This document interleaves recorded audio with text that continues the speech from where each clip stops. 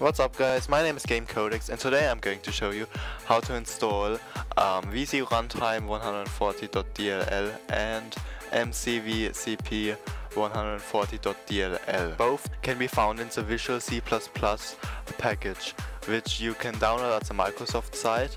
A link will be in the description.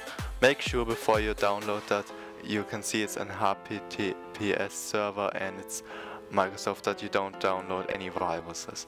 When we download, we're going to pick the 64-bit system if you have a 60-bit. If you have a 32-bit, you're going to go with uh, 86. We're going to hit next and wait for the file to download.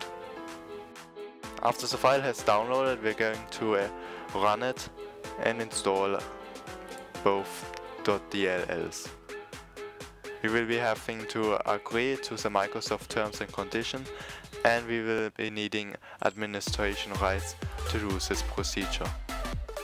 Now it may take some time for it to, initialize, but it will be starting just wait a bit and don't exit out of the installation.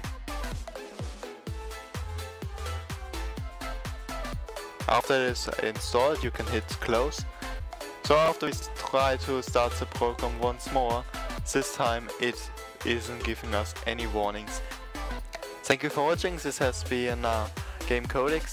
If you need any help, please comment in the description.